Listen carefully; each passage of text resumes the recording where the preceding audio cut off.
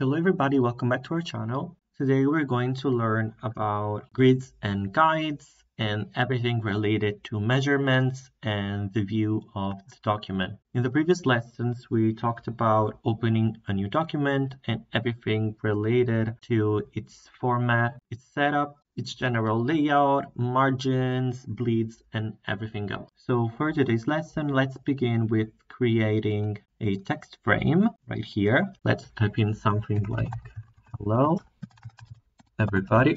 As you can see, we have this black margin right here. Once you click on it, it becomes red. But if you do not click on text frame, you still see this margin. These can help you with organizing the space of the document.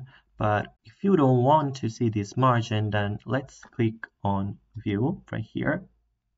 Let's click on document and let's unflag show frames. In this way, you cannot see the frame, but if you click on it, you'll see the frame so that when you have to move it, you'll know where the frame is going to end up but if you unclick it then there's no frame left now let's go uh, and flag back show frames right here but of course once you go on the preview mode you cannot see the frame as well as all the margins and the bleeds if there are any. Next up, let's talk about these rulers.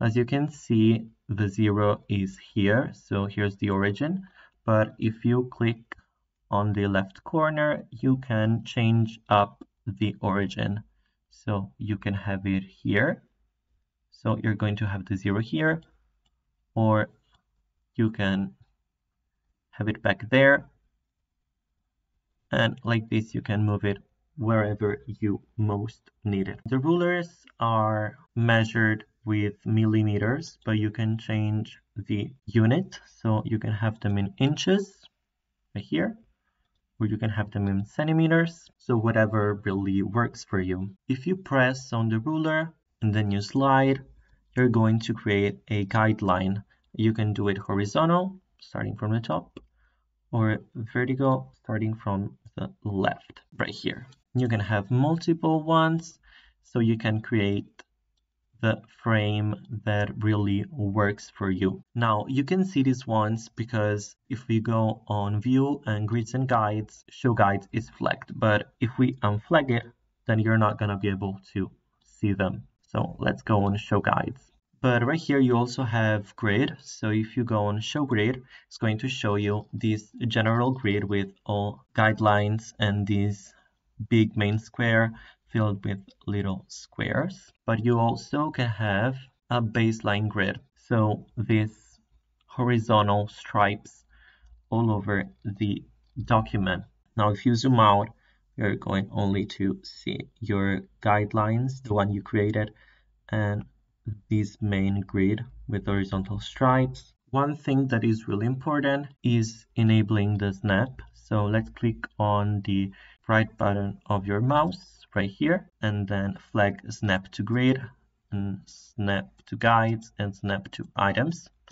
So once everything is flagged, you can move a text frame and you'll see that it's going to get attached to both the guidelines you created, the margin, and then the, the green grid, and then also the horizontal stripes. And this can help you with the precision of the position of text frames or pictures or everything that you want to move. And by unflagging each and every one of those snaps, you can see that a text frame will move freely without any precision. But of course, if you go on preview, everything is going to be gone. So it really just works for the organization of the whole document. Now let's open up a template like this for example, a newsletter. And let's see how everything we learned is applied in an existing document.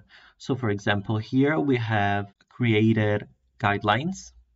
So these two and these two, and they were both created like this right here. And if you go on manage guides, you'll see that we have two horizontal ones, then three vertical ones. You can add one and you can decide where to put it. So right here, you can also add another one here, add right here. And you can apply these to all pages and you can lock them so you'll have them without the risk of moving them. You can also create columns and rows as we previously saw in another in other videos, vertical ones right here. Then you can use gaps between them starting from the page or starting from the margins.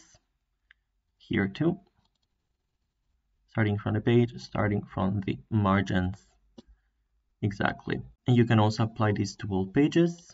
And then if you want you can delete guides from current page or from all pages. So let's click on delete guides from current page. So you'll have none of them. As you can see you can see the frames. But if you go on view and then on text frames, you can unflag it and you're not going to be able to see them. Show frames, you're not going to be able to see them. And of course, if you go on preview mode, everything is smooth without any of the guidelines or the frames. So let's review what we learned today. We learned about text frames and frames and rulers, unit measures.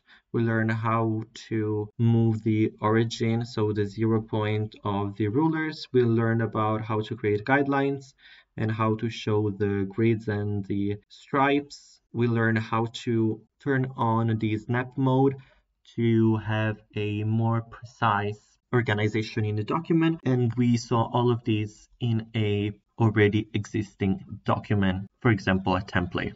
That's it for today, you guys. If you enjoyed this video, hit the like button and subscribe to the channel if you want to stay updated and see the next videos from this video course about Scribus.